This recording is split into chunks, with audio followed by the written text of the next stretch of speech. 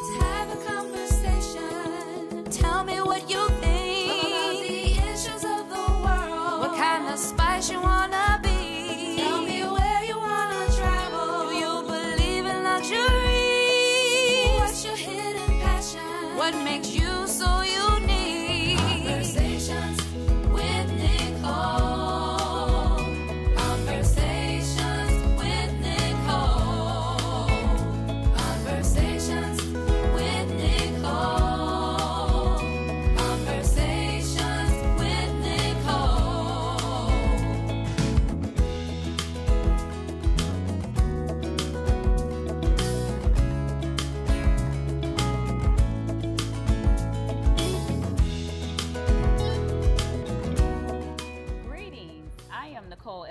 Host of Conversations with Nicole, and we are here at Nefertari's Fine Cuisine, and my very special guest is the Florida State University men's basketball coach, Coach Leonard Hamilton. Welcome, Coach Hamilton. Well, thank you very much.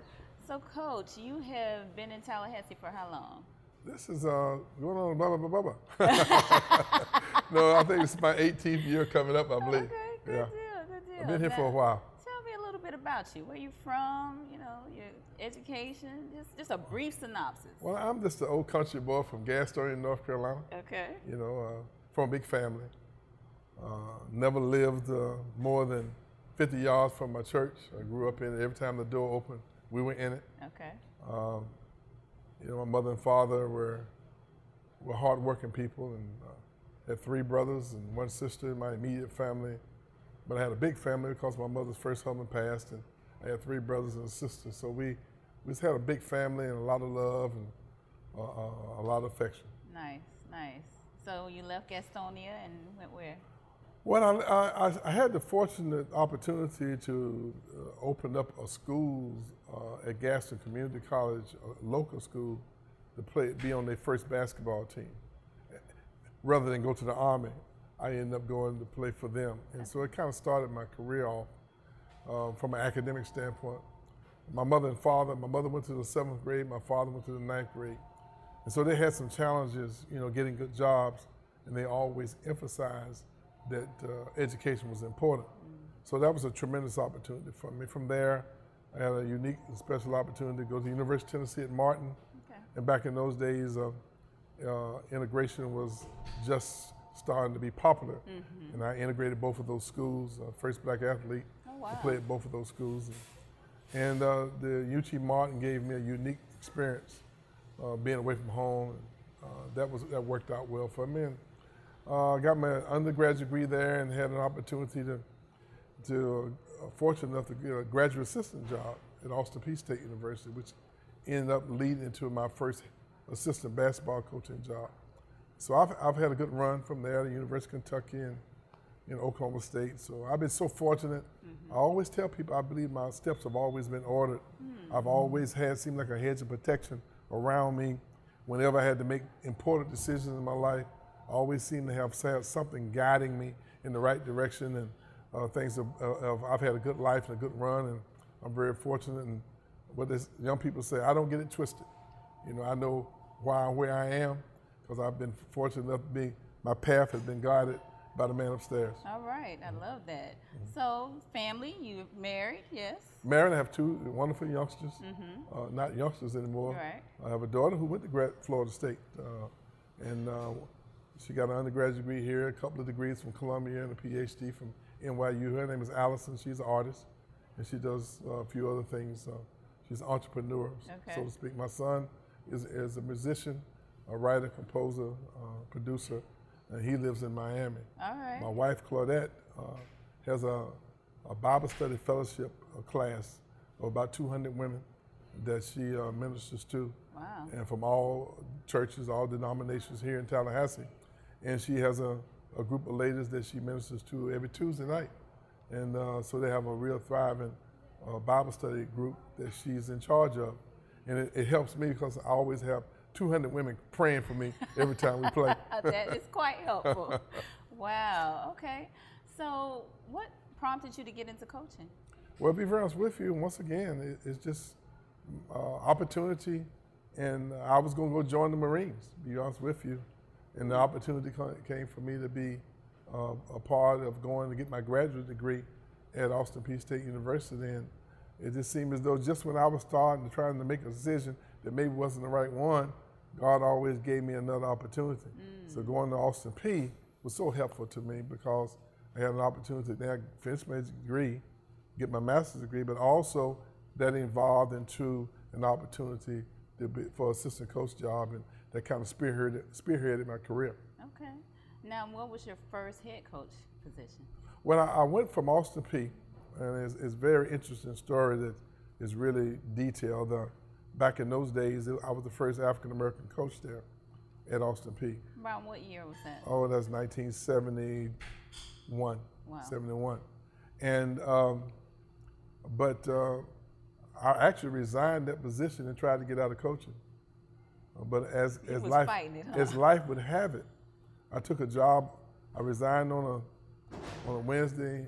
Uh, I was in the paper on Thursday. I moved on Friday and went to work on Monday in Charlotte, North Carolina with Dow Chemical. Uh, so you would think, well, you know, that was a knee-jerk reaction, but I was just the opportunities for me as an African American coach was not available for me, and and I I had a, I reacted to a situation that I didn't think was healthy for me. But uh, on that Monday, first day I went on the job, the head coach from University of Kentucky called me, and so Tuesday, after starting work with Dow Chemical on Monday, I was in Lexington, Kentucky on Tuesday, interviewing for a job there. We- we- Wow. and the, the ironic thing is that Kentucky was the number one basketball program in the history of college basketball. So I went from not coaching To going to, to, the to, number to, one. to the number one program in the history of college basketball. That's divine in- intervention. That is definitely divine inter- intervention. Amazing, amazing. So, how did you navigate being the first African American coach, or you know, first Af- African American athlete in some of these different arenas? Well, I think it all started as a child uh, with the uh, the influence of my father and my mother. Uh, I was probably the right person for those opportunities, and I think those opportunities needed someone like me. So I think it was a good match for both of us. I, I, I had a, a solid foundation, morally sound.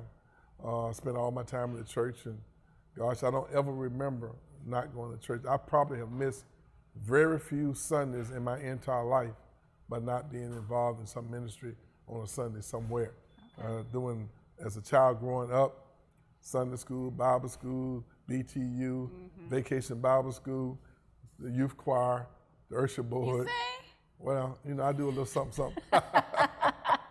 they make a joyful noise, right? not a not an awful noise, a joyful A noise. joyful okay. noise unto the Lord. But but uh, in reality, though, I thought that that really gave me a solid foundation. Mm-hmm. My mother always told me, "Think before you speak," Mm. and that gave me a sound philosophy of thinking things through. Because those those in those days, uh, things were not always, uh, you know, the colored water fountain, the, the colored bathroom, the the, the the sitting up in the balcony at the at the at the at the movie theaters was somewhat challenging uh, for a youngster back in those days.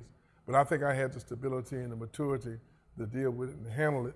And I think I realized that you know how I responded to those those situations uh, would make a difference in the uh, people to follow after me. Uh, but having the opportunity, you know, to be with a father who uh, always told me, don't ever let anybody outwork you. And, and that has meant so much to me because he always said that your boss, your supervisor, your coach could possibly make a mistake. So if you let it be close, it's on you. And so I never really had anyone to complain to. And I don't real, I didn't realize how much how important that would be to me uh, as I moved through my, my career. But because I always had to work hard and I could never make any excuses to come home to him and complain to why certain things didn't work out well, that, that gave you only one option. You know, you had to be focused enough to see the, a way how to become successful. And whenever you had a challenge, you always had to come up with a philosophy. There's a solution for every problem. Fortunately for me, I've been able to navigate through life and, and, and hang on in there. Very good advice. Very good advice. Well, we're going to take a break right here, but when we come back, we're going to talk a little bit more about who Coach Leonard Hamilton is. All right. Stay tuned for more conversation.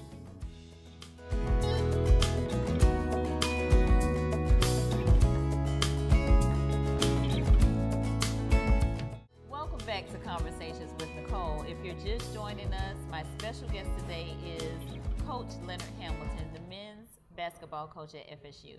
So, Coach Hamilton, before the break, you were telling me about some of your experiences and and about um, you know just the advice that your, your your parents gave you, your mother, your father. But I want to know what role has faith played in your life?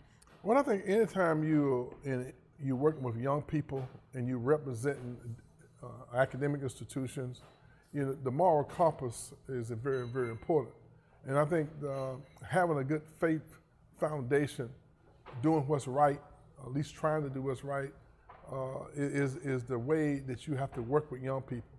Because anytime you uh, have the responsibility of, of, of, taking young men from teenagers to young adulthood, it's almost like you're their surrogate family, you're the surrogate father, and they basically to emulate the relationship that you have with them. And so you, it's a that it's a full job, a, a lot of responsibility uh, of, of taking young men at the most vulnerable time in their life, when they're forming ideas of, of what kind of husbands they're going to be, what kind of fathers, mm. what kind of neighbors, what kind of citizens they're going to be, and from a basketball coaching standpoint, you know, we sometimes publicly are evaluated by wins and losses, but our true evaluation comes when youngsters leave you four or five years, what are they doing with their lives? Have you impacted them to the point where they find a way how to make decisions, how to negotiate through challenges, and, and, and, and what type of uh, family uh, men are they? Are they leading their families? Are they uh, making progress toward reaching their potential? Anytime you have young people and you, you're charged with the responsibility of them maturing and reach their fullest potential physically on the basketball court, but also mentally and emotionally and spiritually off the court. You, no one wants to be uh, uncomfortable, but you have to challenge youngsters uh, to reach their potential, and nobody wants to be uncomfortable, but you have to charge with responsibility of trying to get them out of their comfort zone mm-hmm. to challenge their potential to reach their potential. And so, in order to do that, you have to have a strong, strong relationship with them one which they understand your passion, your encouragement, uh, uh, your demanding of, of excellence from them. And there has to be a level of trust. It has sure. to have, be a level of trust, but so you have to form those relationships. And sometimes those things are somewhat challenging mm-hmm. because each player is an individual. You can't treat them all the same. But, but as a coach, uh, you have to have a firm, faithful background, in my opinion, in order to be able to relate to all the different challenges you have if your heart's in the right place and you really treat them uh, like you'd want someone to treat your child if your child's with them. Mm-hmm. And that's how we normally operate. Okay. We feel that if we are treating all our players like we want someone to treat our children if they were with them, is a good basis and foundation to, to, for, to build programs and then have a personal relationship with your players. Outstanding. Would you say, would you attribute that to your high graduation rate amongst your players? Well, I think part of the relationships you have to hold everybody accountable. We're held accountable, and your your players have to be held accountable. We have rules and regulations that govern our behavior mm-hmm. on the court, off the court, as well as academically. And and some things are just non-negotiable, you know. And you have to hold everybody to a certain standard, and, and they understand what they are. And so we talk about them, we explain them, we have a clear understanding of exactly what that means. And I think I'm very proud of the fact that our guys respond appropriately because we, we, we are in all of this together. And I'm proud of the fact that we are graduating our players at a high rate. But in reality, that's a lot more important than anything else we're doing. Yes. You're judged by whether you win and lose games, but you but in your graduation rate, you weren't you weren't you're judged by winning in life. Mm-hmm. And to me, that's more important uh, than the wins and losses on the court. However, you need to win. You need to have the wins to make sure you keep your job, so you can have an opportunity to work with the youngsters. That's right. That's right. Speaking of winning, you are the most winningest coach at Florida State basketball. How did what again? What do you attribute to that? Well, I think once again we make pretty good decisions about the youngsters we bring in, but I have a wonderful staff. Mm. I have I have a great staff, and Coach Jones been with me almost 23 years. Dennis Gates was a graduate assistant in my program since uh, uh, uh, Charlton Young. I recruited him out of high school, believe it or not. That's how old I am. My weight training conditioning coach, Michael Bradley's been with me 17, 18 years. Wow. Uh, maybe more, even more than that. Uh, Jacob Ridenhour has been with me uh, 10 or 12 years. I have an experienced staff that cares about our kids, uh, and we understand the responsibility that we have in representing not only who we are and where we're from, but Florida State, Uni- uh, Florida State University, Seminole Nation, and the Tallahassee community. All right, that's great. Now, you also were a professional basketball coach. Tell me your, your choice of college versus professional. Well, I don't think there's any um, um, doubt that I, I'm better suited for working with young people than I am working with people who are already at a certain successful point in their life. I, I think my calling uh, is, to be able to take youngsters who need different things. I mean, some of them need uh, maturity in certain areas. Some of them need confidence. Some of them need to see reassuring. Some of them need physically developing. I, I, I enjoy what I do every day. Uh, I'm, I'm, I, I'm, I don't feel like I'm going to work. I, I feel like I'm going uh, almost a ministry that we take everything seriously and we try to be thorough in our approach. Uh, and I enjoy what, what I do every day. And, and I hope that I can be able to end my career coaching at Florida State on the college level. All right, y'all heard that, right? He wants to end it at Florida State, so hopefully he'll be around for quite a while. I think you still got some some um, years to go, Coach. We were close this year um, with the finals.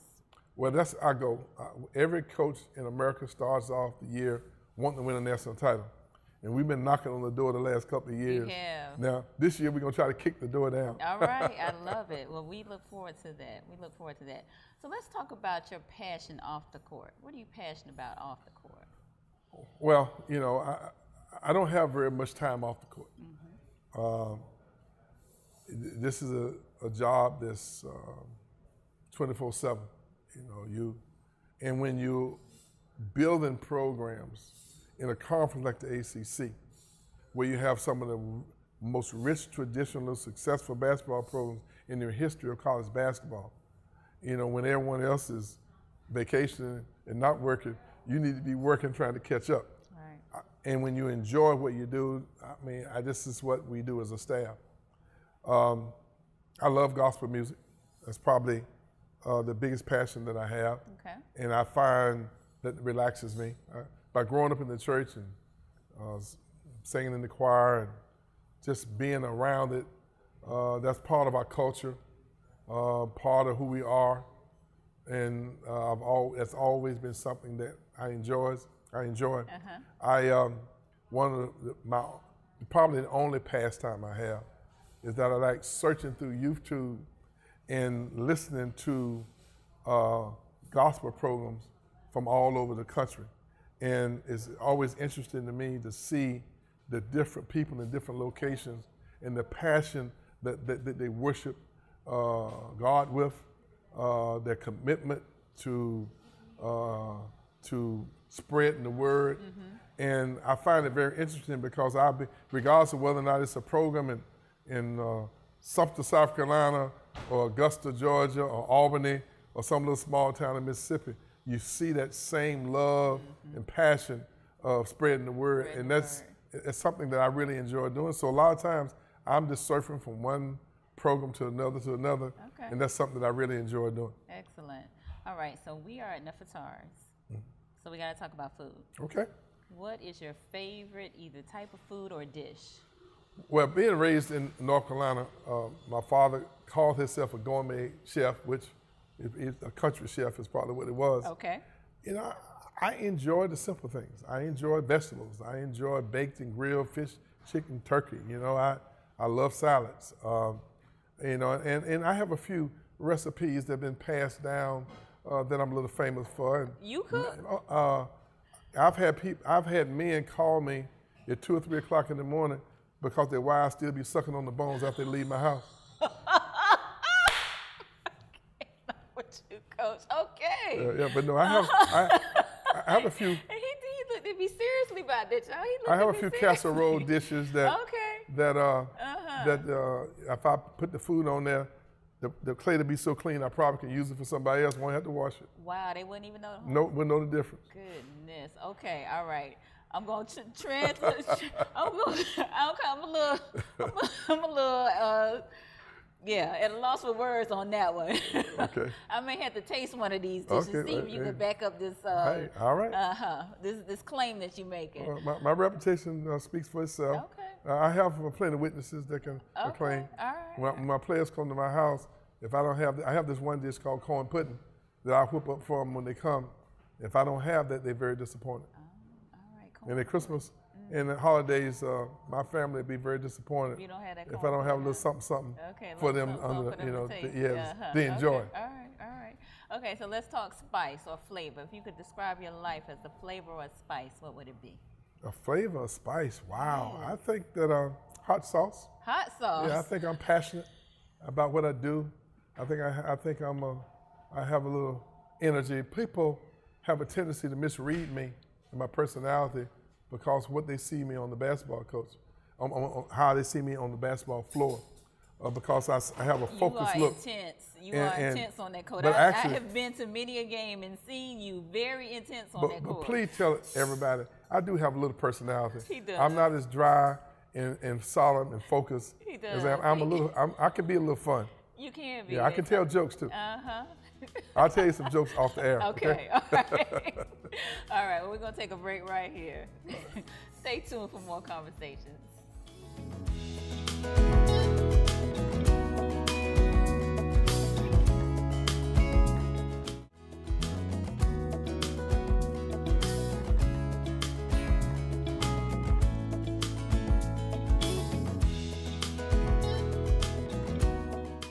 Welcome to our CWN Clean and Healthy Eating segment with Oneil Brown, the Fitness preacher. all right, fitness preacher. So, what concoction do you have going on here today? Well, since we live in Florida, right? Yes, we do.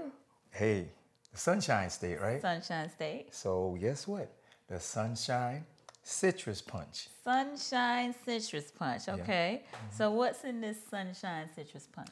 We have orange, grapefruit, orange. and then we add our ginger. Grapefruit and ginger. Mm-hmm. All right. So, and we put this in the juicer. Yes, you peel your grapefruit and also you peel your orange and put it right into the juicer, Okay. and then you add your ginger to it. Okay. The ginger does that have to be peeled as well? Or No, the ginger doesn't have to be You can peeled. put that. So one one grapefruit, one orange, and about a two inch piece of ginger. Yes. Okay. And it very- depends on how many servings you want. It depends on how many people you're making it for. Okay, very good. Mm-hmm. And what are the benefits of this citrus punch? The citrus, vitamin what? C. C. That's Uh-huh. right. Okay, all and, right. and, and it's also good with inflammation. Yeah, It's also good with inflammation. so think about healthy. Think about how healthy you want to be in on the uh, inside. So if you're putting healthy things in on the inside, it automatically is going to what show on the outside. Healthiness on the outside, absolutely. All right. So this is our finished product. yes, it is. All right. So let's give it a go. Cheers.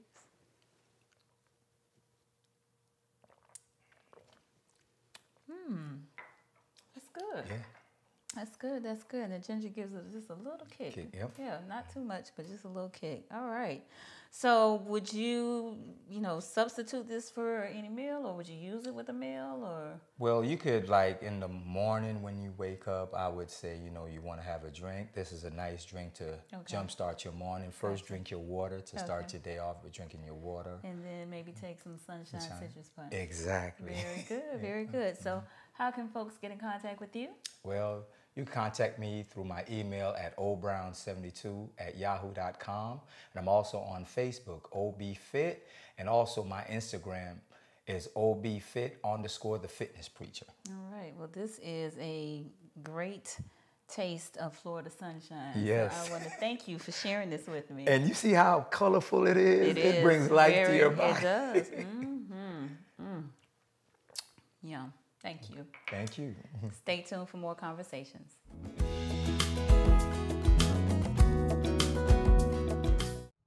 Welcome back to Conversations with Nicole. As you can see, our dessert is here. I want to thank you, Coach Hamilton, for joining me today and showing us a, a different side of you that's not so intense, the hot sauce. Well, you know, I've enjoyed being on this show, and uh, fortunate, unfortunately, I don't get a chance to um, get myself involved in the community very much. So I really appreciate the opportunity to come on on the show, and, and I'm available anytime you want me to come back. All right, y'all heard that. I'm, I'm gonna hold you to that, Okay. and some of that corn pudding.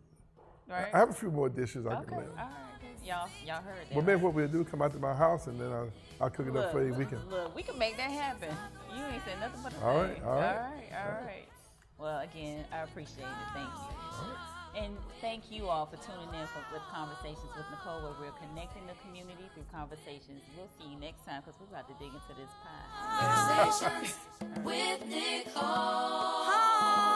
Conversations.